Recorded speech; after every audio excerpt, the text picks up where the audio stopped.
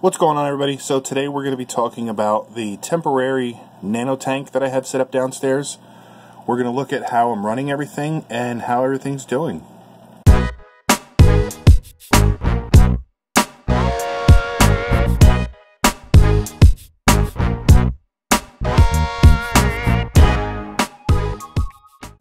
Alright, so originally when I set this up, it's supposed to be just a temporary tank I'm pretty sure it's going to still be a temporary tank, but it's kind of bothering me because everything is doing so well.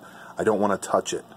But at the same time, um, there's a lot of things that I'd like to change on it to make it easier to run. But we'll talk about that right now. So this is a 20 gallon Aqueon, you know, the 20 long that you can get at Petco, dollar per gallon sale. Always have a 20 long on hand.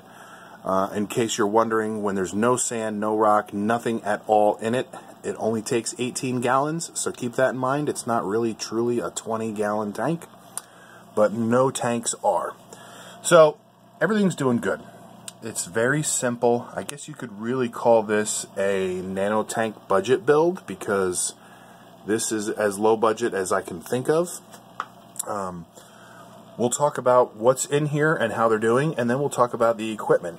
So these are the bubble tip anemones, the rainbows, and the two clownfish are still doing just fine. There's actually a total of four anemones here. There's these three big ones, and then around the backside there's a little tiny baby, but they're all doing good. I'm feeding the fish daily, and I'm giving the anemones mysis, like a big cube of mysis, once a week.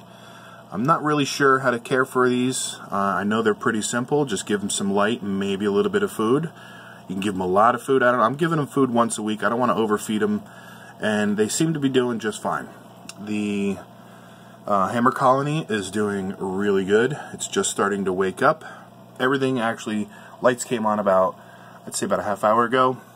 Uh, it's, it's doing good. It's really really doing good. I glued it to this rock so it's kind of like on its own little island. And I like it because these two rocks here I actually got from Dave's Tanks. And now this rock is just covered in brittle stars, which is really cool. So um, if I do get rid of this hammer colony, um, I'm definitely going to be taking this rock and putting it in the sump uh, underneath the 75. The GSP in the back is doing really good, including this one mushroom. It's this this mushroom. I like it. It's it's like this crazy orange. It's hard to see, but it's really fluorescent orange um, to your normal eyes, I guess you could say. But it's doing really good. The GSP frags up here are growing really fast. I'm happy there's no algae growing on the plugs, nice and clean. The tank is just running really, really well. A lot of it, I believe, has to do with the bare bottom. Um, I'm not a fan of bare bottoms, but I'll tell you what, the tank does stay cleaner, and it is definitely a lot easier to clean when it comes time to it. Uh, the chalice that I have down here, I actually got this chalice, it was like a little um, broken piece, and I was like, ah, let me glue it, and now it's actually a good sized chalice. It's like a greenish blue color and this guy was in recovery still.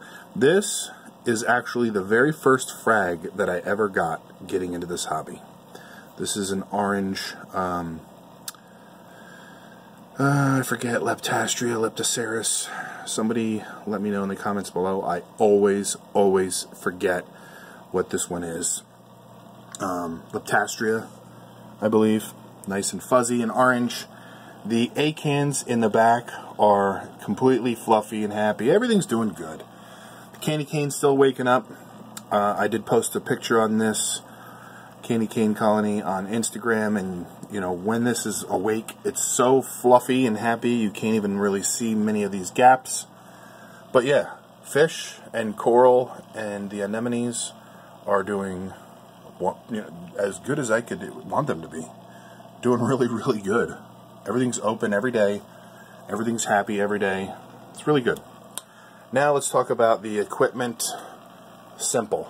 Oh, let me see if I can add some light. So I'm just using this Chinese black box. You know, some people don't like them. others that have used them know they work. Simple. I have the blues at about 90% and the whites at about 15 20% and this light fixture turns on at 1 p.m. and turns off at 10 p.m. that's it. Everything comes on at the same time and turns off at the same time. Simple. Then we're looking at the filtration. This is an old really old um, Fluval 70 hang on the back filter. Anybody that knows uh, hang on the back filters. Fluvals are awesome. You can do all kinds of stuff with them. This is an Intank, uh, you know, it's made by in-tank. This is the in-tank surface skimmer. And what you do is the intake tube here, you just pop off everything else. And this little box goes in there. And it acts like an overflow. It surface skims. And I definitely think that this, you know, when you're running a um, hang on the back filter in a little setup like this or any reef tank, my eyes, this is uh, one of the keys to success. This thing is so awesome. The top of the water is crystal clear. There's no buildup of anything nasty on it. And it's because this is um, surface skimming. It's just really, really good. Totally worth the money. I don't remember what this cost, but this was something that um, Dave had gotten I think he got it from another reefer. So it's been handed down and handed down, and now I have it, and um, it's just kicking butt. Now, I do have a little power head right here. This is the Hydor 425. Um, super old. I have I used this hang on the back and that power head when I had my Planet tanks about five or six years ago, and you know, as long as you maintain them properly and clean them and store them clean, they will fire right back up again, and that's exactly what these these did. So take care of your equipment, and they'll last you a long time. But I have this Hydor directly underneath the water when it cascades in. Normally, it'll cascade in and kind of go down a little bit and kind of go out a little bit. So I have it where the water's cascading down, and then this power head is just pushing it right across all the way over, and then all the way back. And the cool thing is, is when I do my little water changes, you can see this is where the detritus builds up.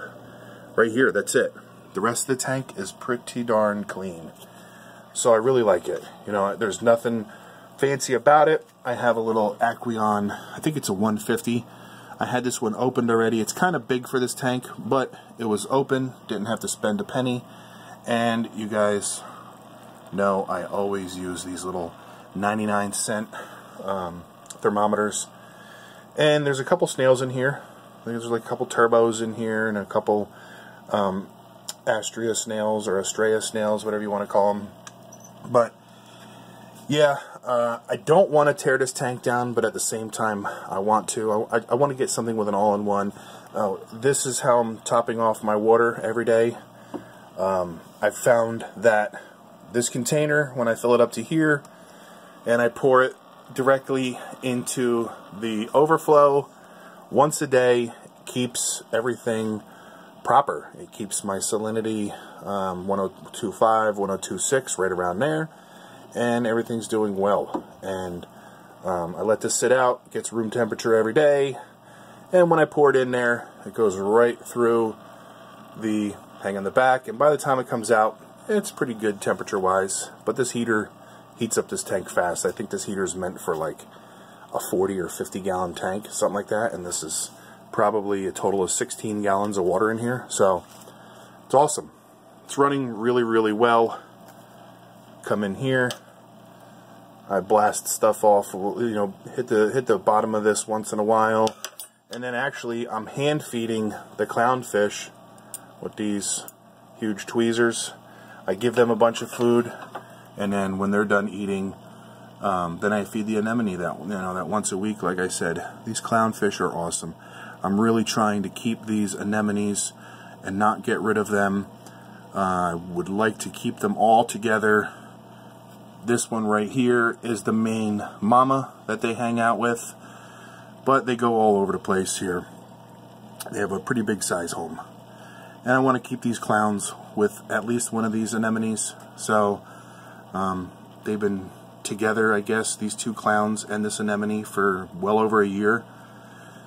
So I really hate to separate them, so I want to try and come up with something. I want to try and find a inexpensive tank, like I said, maybe a 20 gallon all-in-one, and literally just throw this light right over top of it, and um, an auto top off, and let it rip.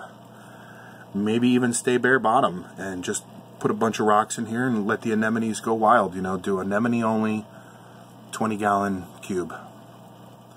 Good looking clowns too. I know one is, I believe, a Picasso, and I forget what the other one is. Dave, if you're watching, let me know what these two clowns are. But, yeah, I really love these guys. And my son Billy really loves them. And Waffles loves them too. Something about these clownfish and these anemones that everybody at the house likes here. So, uh, I'm like 99.99999% sure that these will be staying with me for a very, very long time. So, that's it. That's the update on the um, nano tank budget build kind of deal, but it's doing really well, and I'm not in a rush to take this thing down. It's very easy. Come down, feed the fish, pour the water in, done. Kick back. When I'm doing my little projects downstairs, this is what I get to hang out and look at. So, yep, super easy, super simple, and it's pretty successful right now. Oh, look at the clownfish came out. Uh, that's about as far as they go from that anemone. So, thanks for watching, everybody.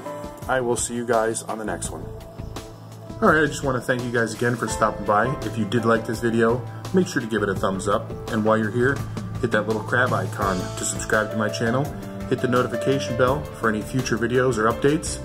And in case you haven't seen these two videos, you might want to click on one and check it out. Again, Thanks for stopping by.